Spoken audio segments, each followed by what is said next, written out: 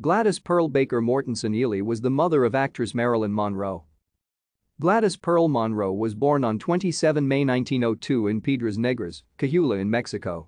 Her mother, Della Mae Monroe, was from Arkansas, and her father, Otis Elmer Monroe, was an aspiring painter from Minneapolis who worked for the National Railway.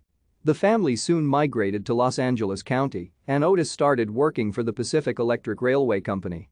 In 1917, Baker married Jasper Newton Jap Baker and gave birth to a son Robert Kermit Jackie, followed by a daughter, Bernice Inez Gladys. After abusive incidents, Baker filed for divorce from Jasper in 1921, leading him to kidnap the children and raise them in his native Kentucky. In 1924, Baker remarried with Norwegian immigrant Martin Edward Mortensen. They divorced a few years later after Baker met her superior at RKO Pictures, Charles Stanley Gifford.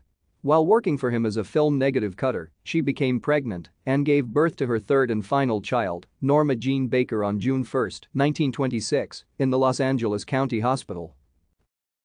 Thank you for watching. Like and subscribe if you would like to view more of our videos. Have a nice day.